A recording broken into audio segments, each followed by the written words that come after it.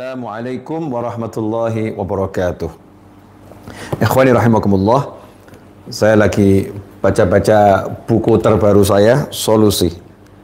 Eh, buku terbaru saya Solusi, kemudian membaca nasihat Imam Ja'far As-Sadiq radhiyallahu anhu tentang empat hal yang sering dilupakan seseorang ketika mengalami empat peristiwa.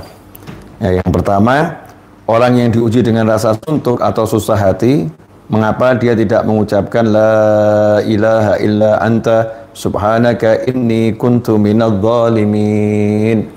Biasanya kalau habis sholat witir ini kita baca ya hayyu ya qayyum la ilaha illa anta subhanaka inni kuntu minadh dhalimin ya hayyu ya qayyum la ilaha illa anta Subhanaka inni kuntu minadh dhalimin.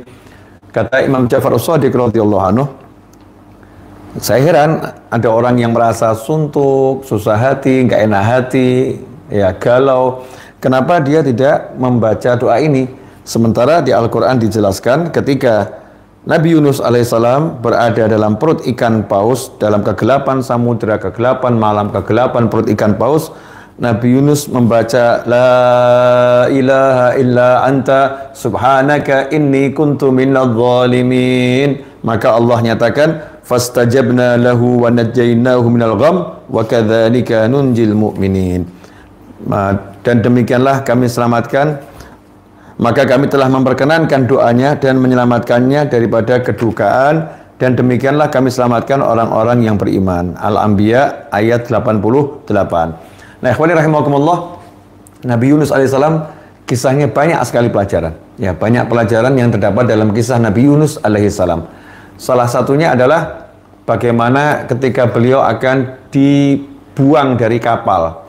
Ya, akan dibuang dari kapal karena ada badai yang luar biasa. Kemudian satu kapal itu e, penumpangnya sepakat harus diundi, nanti yang keluar itu yang dibuang ya agar badainya uh, reda. Maka saat itu setelah diundi jatuh pada Nabi Yunus. Undiannya jatuh pada Nabi Yunus alaihissalam. Anehnya seisi kapal itu menolak. Mengatakan jangan buang, ya jangan buang orang ini, jangan buang beliau. E, mereka tidak kenal kalau beliau seorang nabi, nggak kenal bahkan mungkin sebagian besar nggak tahu namanya. Ya, nggak tahu namanya. Tetapi mereka sepakat yang ini jangan dibuang. Kenapa? walaupun belum lama Nabi Yunus alaihissalam berada di kapal tersebut, ternyata budi pekertinya, akhlaknya, tutur katanya, sikapnya, perbuatannya, pancaran cahaya di wajah beliau alaihissalam telah membuat seisi kapal jatuh cinta. Ya, membuat seisi kapal jatuh cinta sehingga mereka berkeberatan kalau beliau dibuang. Mereka pun minta agar undian diulang. Bayangkan ini padahal semuanya kan terselamatkan nyawanya. Kalau Nabi Yunus dibuang kan semuanya selamat nyawanya. Tapi mereka nggak mau selamat sementara orang baik ini, orang soleh ini yang jadi korban. Mereka nggak mau. Ulangi saja. Biar salah seorang di antara kami yang yang jadi korban yang dibuang. Jangan yang satu ini. Ini adalah sikap hati yang luar biasa. Meskipun belum lama mengenal, ya tetapi udah bisa jatuh jatuh cinta kepada Nabi Yunus alaihissalam. Nah, di sini ada pelajaran yang sangat menarik. Bagaimana hebatnya Nabi Yunus ketika uh, beliau itu menjalani kehidupan bersama orang-orang yang tak dikenal, menjalani kehidupan bersama orang-orang asing, ya, menjalani kehidupan bersama orang-orang yang baru ditemui. Ya, beliau bisa uh, memberikan kesan yang sangat mendalam di hati mereka semua. Dan undian pun diulangi sampai tiga kali, ternyata tetap yang keluar Nabi Yunus alaihissalam dan Nabi Yunus pun memaksa agar beliau yang di, dibuang.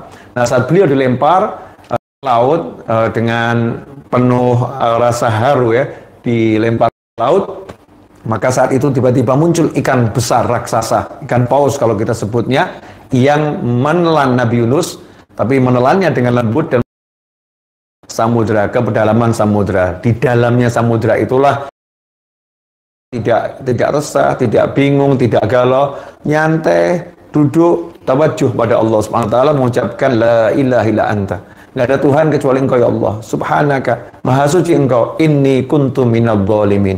Sesungguhnya aku termasuk dalam kelompok orang-orang yang telah mendolimi diriku sendiri. Ikhwani rahimakumullah.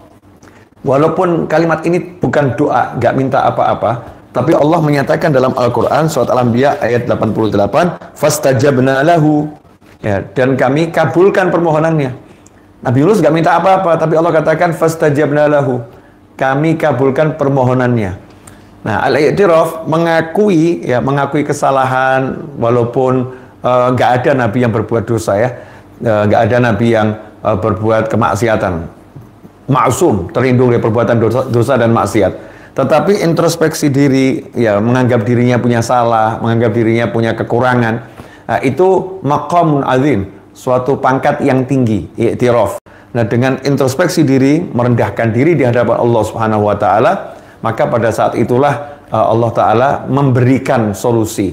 Ya, memberikan solusi apa yang sebetulnya diinginkan oleh Nabi Yunus alaihissalam diberikan oleh Allah Subhanahu wa taala. Nah, ini kunci kalau kita uh, lagi mengalami yang gak enak atau ada suatu perkara yang tidak menyenangkan, duduk ya uh, menyingkir sejenak dari keramaian sendiri bersama Allah taala, kemudian betul-betul hujamkan dalam hati la ilaha illa anta inni kuntum minadh dhalimin menyaksikan gak ada Tuhan kecuali Allah Maka maha suci engkau ya Allah sungguh akulah yang uh, termasuk orang-orang yang zalim. Introspeksi diri kita, maka Allah pun akan memberikan solusi. Ikhwani rahimakumullah. Walaupun kalimat ini bukan doa, nggak minta apa-apa, tapi Allah menyatakan dalam Al-Quran surat Al-Anbiya ayat 88, fastajabna. Ya, dan kami kabulkan permohonannya. Nabi Yunus nggak minta apa-apa, tapi Allah katakan fastajabna. Kami kabulkan permohonannya. Nah, al-i'tiraf mengakui ya mengakui kesalahan walaupun eh, nggak uh, ada nabi yang berbuat dosa ya. Eh, nggak ada nabi yang uh, berbuat kemaksiatan.